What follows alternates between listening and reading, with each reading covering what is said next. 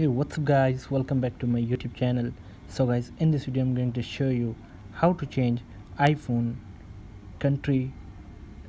So guys uh, how to change iphone region on your iphone or ipad in ios 15 or ios 14 so guys before starting the video please like this video and subscribe my channel.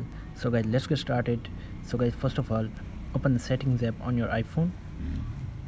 So here is the settings app. Scroll down and tap on general scroll down and tap on language and region. So here you can see guys iphone language other language region. So here you can see guys my region is united states now. So tap on the region uh, region. So here here you can see guys here are the all countries here. You can select your country. So you can change it. So i'm going to so i'm going to select australia.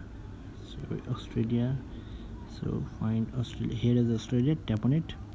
So change to english australia. Keep english us you can tap on so i'm going to tap on keep english us so here you can see guys my country has been changed to region has been changed to australia. So here is the simple method uh, so so guys here is the simple method for changing your region on your iphone. So guys thanks for watching this video please like share and subscribe. Thank you guys. See you in the next video